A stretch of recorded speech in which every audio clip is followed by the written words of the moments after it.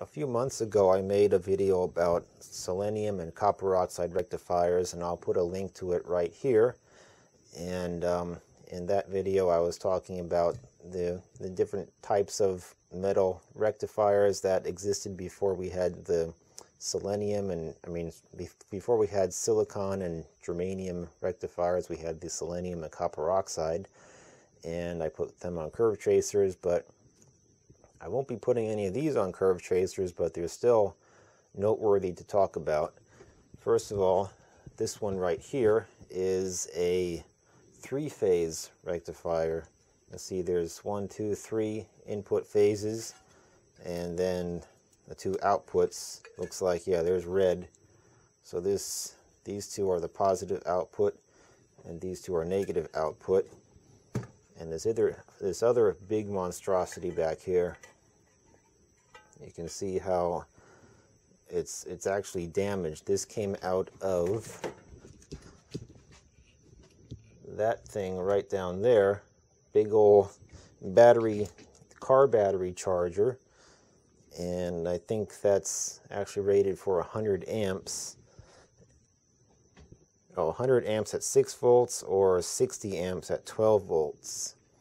So this thing, and apparently this thing was damaged at some point. I don't know why or don't know how, but you can see that's just totally fried here. This is the, this is the, looks like it's made of brass, the brass um, plate that's put on top of the selenium coating here just to dissipate the current, you know, so you don't get a whole lot of current concentrated right around the bolt here. It gets spread out for this amount of area on the brass and then from there it gets spread out on the on the metallized coating on top of the selenium throughout the whole area of the plate here and you can kind of see the border the border of the uh, selenium and the metallization is right there, very near to the edge of the plate. But all the other plates are intact. There's a there's a good one. That's what it should look like. Then we got this beast right here. This is just two individual plates, but you can see how they, again, they put the the brass uh, washer right here to spread out the current to a certain extent and then the current gets further spread out on the metallized coating and they because it's so large I had to have two of these brass spreaders I guess I could call them and the reason it's so large it's 12 inches by 4 inches the reason it's so large is because it would have been used for very high current applications anywhere from 50 to 100 amps per plate. Um, could have that's that's what this could have been used for. But of course, nowadays you just use a little, well, relatively large, but still little compared to this diode, about yay big. If you want to have 100 amps going through any kind of rectifier. But then, of course, you still need heat sinking. I mean, one advantage of this is that it doesn't need any additional heat sinking. It the, the sheer size of it serves as its own heat sink.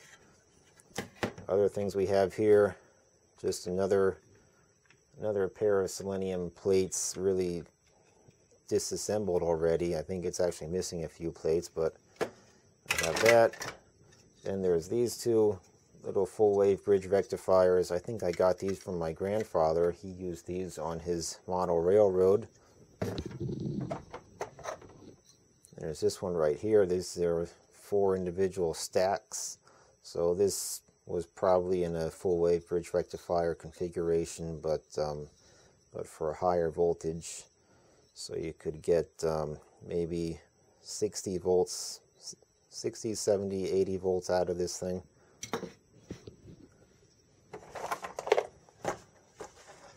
Here's some, others. We dump this out. We got some more stacks of single diodes with, or each diode is a multi-stack here. There's another full wave bridge, another full wave bridge with individual um, plates. Just a whole bunch of little selenium rectifiers here. It's all selenium. There's this little contraption here. I don't even, it's a very specific application for this one, but I don't know what that is, but it's they made it somehow. There's also little bitty bitty tiny one here.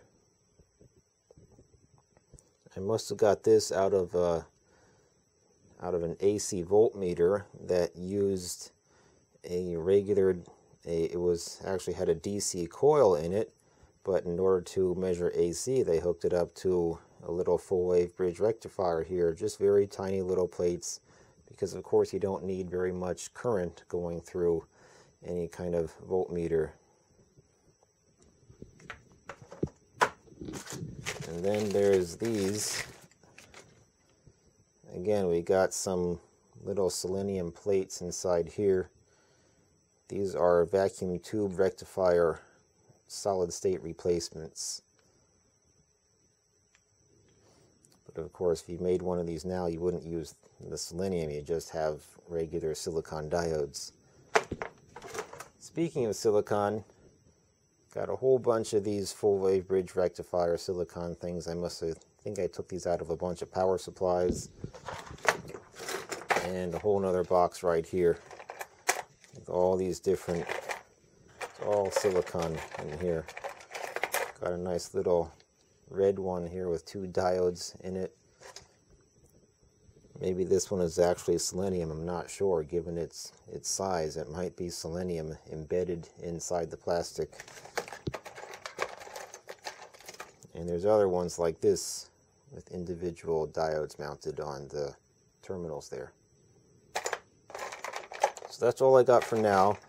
I think I'll make another video where I actually put some of these larger rectifiers onto the curve tracer and see how they react given their given their sheer size see what kind of capacitive effects they have on uh, on their on the AC circ on the AC current See you later. By the way, I found one more little, little tiny selenium stack here. Again, probably took it out of a AC voltmeter with a DC coil. Look at that, isn't that cute?